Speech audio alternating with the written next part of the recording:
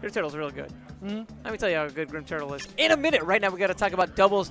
Mook and Smash Factor's Hyuga up against Smash World Gaming's JaySon and Slaps. So we have, I assume, Pikachu and Toon Link, of course, coming against Ike and Fox. Mook, yeah. Uh, Mook here going to be playing Fox, right? Fox. Against Well- uh, JaySon's Fox. And uh, We're, we're gonna have two Foxes on the screen. Oh, we're oh we're playing a little eight player smash. Right, I'd be ready. all right. I'd be ready. I okay. What's what's the 4v4 meta like? I don't know. I bet it's full of chaos though. Probably. I, I I, I want the 2v2v2 meta, man. The only the only complaint I have about eight player though is that why is yellow color only available on eight player Smash? Can we have yellow for four? Can we have can we have yellow for just regular Smash doubles? Come on now. It's brutal, man. Yeah. But anyway, that's not my favorite color. Green is my favorite color. Go green. So, um, so yeah, we have two Foxes on the screen, um, and we have Ike and Toon Link. Of course, Toon Link being the one and only Hyuga. Um, so we're gonna go into this match. I feel like the stock tanks for each is gonna come out from both of the Foxes. Actually, I feel like both of the Foxes are gonna play a good amount of stock tank. Really? Yeah, I feel like Hyuga is going to be the offensive line because, of course, his Toon Link is majorly offensive. He's got all the projectiles to go in. And then, meanwhile, you have Slaps with the big damage. It's like JaySon's going to throw out some of the damage, and then Slaps is going to come in and make the kills pretty quick. But he's also going to stay out of the way. And hopefully. I, I, I can't help but think about how classy Fox can be. I mean, he's sure he's like really, really he can combo like crazy. You get those kill confirms at high percents uh, if he can just you know find something like a down air. But the issue is he's one of the lightest characters in the game. I, it's going to be so tough for him to hold And on not to to those mention, stocks. he's also a fast faller. And fast fallers, uh, they get comboed a lot. And wow, we are already seeing this blue team with the first stock out. That's actually a bit of a surprise. Slaps is playing uh, a pretty simple game overall. He's doing retreating aerials to consistently clip at Mook, who's trying to find his way in. And because of Ike's range, the fade back that he's doing allows him to cover so much distance from a pretty safe ground. And And- right there, it looked like he auto-canceled the aerial into the forward zone. Hyuga was too concentrated on J- trying to get the kill off of JaySon, and Slaps comes in, takes off, takes, takes him unexpectedly, and there goes Hyuga stock. This is a surprising. The forward smash? Yep, the forward smash is going to do it. Yeah, Toon Link forward smash. You know, Tracy, you're absolutely right. This is really surprising to watch out for. I, I, I definitely didn't expect uh, Blue to have these early stocks, but the question is whether or not they're going to be able to retain the momentum as the set progresses. Oh, but the up, but the up air is going to do it, and Mook is, Mook is already at 106% on his second stock. This is, is he going to come back? No, he's not going to make it back. Hyuga can't. Hyuga really couldn't do much. He was trapped in the sandwich between Slaps and JaySon, and what more can you really do about that? Do a whole lot of anything. Mook already at his last stock. And like we said, it's just it's just that Fox is too glassy to be playing the tank.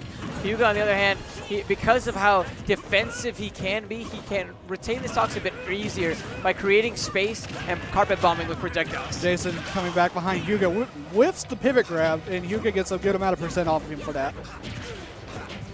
Air now from Slaps. But that's going to leave him open to, to Mook. He's going to come in using the quick speed, break the zone with the dash attack. Hyuga just waiting for Slaps to throw out a move so he can punish it. And whoop, instead it's going to finish off Slap's stop. And now we're actually pretty, and now we're actually pretty in favor. Now the green team actually takes back the lead. Hyuga with, of course, his comeback factor. Hyuga, I don't know for what reason, Hyuga always seems to have a major comeback factor. I don't know what it is, but Hyuga is just your comeback man. If you want a comeback to happen and it's Hyuga on the screen, expect it to come. The big thing is how good he is at reading the opponent, right? Hyuga's And- reads are phenomenal. And that's why at first he might not be doing so well in a, in a game or a set, but as time progresses, expect the rounds to be much more convincing. Yes. JaySon and Slaps, on the other hand, if we talk about right now, they're putting in so much work. Their team chemistry is fantastic, and the option coverage there, that quick up tilt from Slaps, sending Mook skyward, and now Hyuga in a 2v1. This is going to be a, a Herculean task. this is going to be quite a ride. We have a good combo damage bots against a hard-hitting bot slaps, which is Ike. So, side view out to the stage, of course, being avoided by the tether. And Yeah, some friendly fire coming out from blue. They're gonna clean. They have to clean it up if they want to make sure they can close this game out. uh, you mean JaySon No right there? And we're seeing a lot of aggressive aerial options. Hyuga's very content to stick in his shield because he knows that you know the worst that could happen is a is a grab. He's not really even expecting the grab. It he hasn't been conditioned to expect it. They've only been going for these aggressive, aggressive options to start. Hyuga's actually doing really well making this comeback happen. A small amount of damage, but the damage is. Ooh, tried to go for the. Oh my goodness. That'll do for the stop Wow. the reading up smash. JaySon knocked out. Slaps has to go toe to toe with one of the best in the world. The, The read, the Hyuga. roll read. He Hyuga, knows he's got please. Slaps scared here. Hyuga, are you gonna are you about to do this?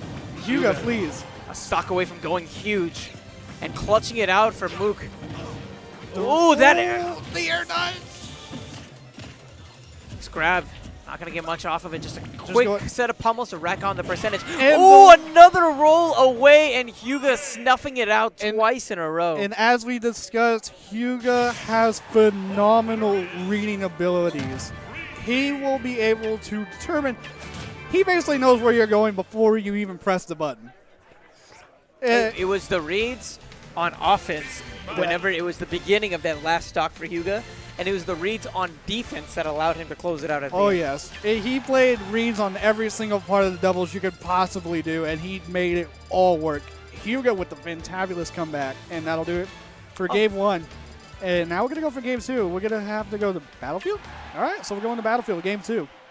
Now, how do you feel about this counter pick? Actually, do you feel like this will work for both teams, or I think that Ike is at times a win more sort of character. Like when he hits you with the KO option, it doesn't matter how big the stage is, you're gonna die. yeah? You're, you're gonna die. Uh, and, and with that in mind, I guess they want to maybe use this sort of a stage uh, to make the most of that aspect while simultaneously making it so that they can have, uh, I guess, a, a larger life expectancy. Beyond that, Ike also has great coverage on the platforms, uh, which would come into play if we see situations where Green gets stranded on them. Mm-hmm. Platforms can be pretty deadly. So Hyuga and Mook taking quick percentage. They're actually doing much better in the beginning of this game than they did in game one. Game one, they started off with a lot of damage. Mook eventually losing his first stock, but now JaySon loses his first stock. So we have the Fox trade of stocks. So we have Mook's Fox losing his first stock game one, and in game two we have JaySon's Fox losing his first stock. But JaySon quick to retort, getting the up smash on Mook. And Right bringing the stock, back, stock count back to even. The friendly fire, however, is making the percent matter so much here as Hyuga slices up a stock for himself. for the forward smash. That's the one thing about Toon Link. His forward smash is pretty strong. Now we're just going to be able to play. Hyuga is just putting on all of the pressure on their shields. That is one thing I see about Hyuga against Slaps most of the time. Slaps against Slaps against Hyuga, he's trying to expect Hyuga to go in for aerials, but Hyuga is just going in there not with not only with aerials, but he's also got projectiles in hand to create so much pressure on his shield. And when he and when Slaps releases the shield, it's either going to be the projectile hitting him or it's going to be him. Slaps all. I thought we were going to be seeing a sandwich for a moment between Mook and Hyuga. The conversion for one second. The forward throw into the back here. Not going to kill though. And this is looking like a lot of punishment. Again, we're seeing Hyuga playing the stock tank role in this team comp. And the forward smash going to do it again. He really is a, the, the one size fits all. He's holding on to the stocks. He's getting all the KOs. He's going huge. Hyuga, Hyuga is basically like that big deal you found while shopping. You're like, this is such a good deal. I got someone who can not only play offense, but someone who can play defense too, and he does it so well. Oh, so perfectly well.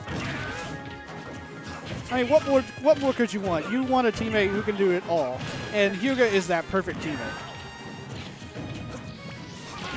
JaySon coming back on the stage. We have a little bit of Fox action off the stage, but now they're coming back to the stage. JaySon's going to trade off for Hyuga.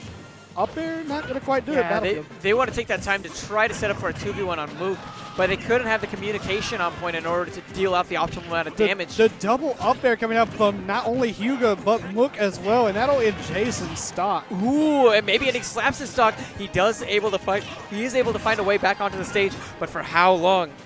Ooh, Ooh. trying to go for a very aggressive option there, trying to close out But the instead, he's able to clip Mook on the way out. He got the down there, but it didn't kill. So a lot of good damage. That'll do it for Hyuga stock. One more stock left for Hyuga, but he's in a fresh stock, so not a lot. So not a lot to worry about. Yeah, you're right. Blue is blue is looking beaten and, and battered here. I don't know if they're going to be able to, to really make them make all that much off of the Hyuga at the ledge, just getting all these back throws.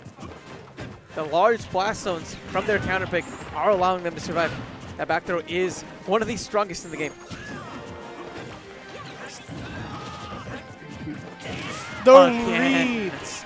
Hyuga getting these reads. Hyuga is just so good with his reads. I just can't stop talking about it. Yeah, they are amazing. JaySon in the 2v1 now. It was hard enough when it was just Hyuga. Now with Mook in play as well, ah, Nah, you have you have a reading master and a Fox, so you, it, this is pretty tough. But that that'll do for the start. So JaySon gets Hyuga, but Hyuga pretty much has a fresh stock on hand, and Hyuga also has these good reads. So I expect a good read coming out ready, and I predicted that so well. that's brutal. I, that was I knew that was coming from a mile away. Hyuga was going to end that stock one way or another with a read. Hyuga, my goodness, this reading master. He went to the library, public, publicly read every the single library book. card. He has a he has a platinum status library Yeah, card. yeah, yeah, definitely. He he he went to the book of every single player in DFW, read up on what they do a lot, and said, "I got these reads." He got the pan pizza from Pizza Hut, man.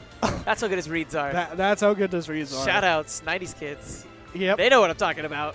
I, I was born in '98, but I've heard so much about that. The pan pizzas, man, that was the best. Back in the day, you'd like read an X number of books, and they'd give you like a free pizza from Pizza Hut. It was amazing. That was that's really cool. Nah, that makes me wish I was. born- There's a lot of things that make me wish I was actually born in the '90s, even though I was born in '98. You know, so now- I don't count. Now, now I, I have to look whether or not there's a Pizza Hut near me. I, I'm gonna have to be tagged out pretty soon uh, just- to just get get- some food in me. But Just take the quick tag out and just go get some pizza. Why not? Oh, I mean, I got we got to find somebody to replace me first. I could have it delivered. You could have it delivered. This is true. I could have it delivered. There's actually one like 0.02 miles away from me. Really, That's it's- godlike. That's like that's like right next door. That's right next door. Perfect. Oh my god, that's way too good. Yeah. Just uh, just tell them like, hey, we're like next door to you. Just bring a pizza over here, could you please? Now for me, pizza fanatic. though, I'm not much of a pizza fanatic. I'm I'm all cheese. That's it. Dude, pizza's so good, man. yeah, this pizza is very good. My favorite. dude, pizza's too good. Found where I'm gonna go eat. Found where I'm gonna go eat. Uh, well, I just gotta go eat eventually, and then eventually I have to go play my tournament match, which I don't know if I have to play yet. I'll check. Let me look one second and see if I have to play my match. Yep. I don't believe I do because eventually, because usually doubles tournaments go really slow. How do you know if you can play your match? Do you have like? We have Challonge right here. Oh yeah. Okay. Okay. Okay. yeah, you can look on Challonge on your I thought you meant like you had that on your phone. And I was like, that's proprietary information. No, Tracy, girl, how you getting this? Excuse me, but I don't take any secrets if nobody wants me to. I'm not gonna invade anybody's secrets. I'll play. I'll play. Yeah, I don't. Ha- okay, so my doubles match is not quite ready yet. Uh, shout out to my little Luma. I love him. Do you have a name for your little Luma? Greeny. That makes sense. Why not? I guess it would make more sense than like Jackie, I guess. If you're gonna go for the IEs, you might as well look at it. Like that's a greenie if I've ever seen one. Gun Gunblade has some weird names for him too, but shout out to Gunblade for his names. They're really cool too. What's Gunblade? Ah, How does Gunblade know you? Gunblade? He doesn't actually know me. I just know that he names his Luma. I just know that from his commentary a lot. He names Lumas really weirdly, Oh, definitely. and then I also have this crown, so that's cool. The crown. Everybody, everybody knows. Everybody, for anybody who doesn't watch me every single week, I always wear this crown. So if you see me on stream, you'll see me wearing this crown. You gotta wear the crown. Yeah, always. Uh, and that's and that reminded me of my cosplay that's coming up in Smash. Con. I'm actually gonna be cosplaying Rosalina, so that'll be Nice. awesome. Nice. Yeah. So Lots it should be yeah, it should be really awesome. You're really excited for it. I've always been excited for SmashCon. SmashCon is just like the tournament of my pretty much my entire Smash career because I haven't been to a big of a tournament as this one. And plus, I'm gonna meet so many good friends that I've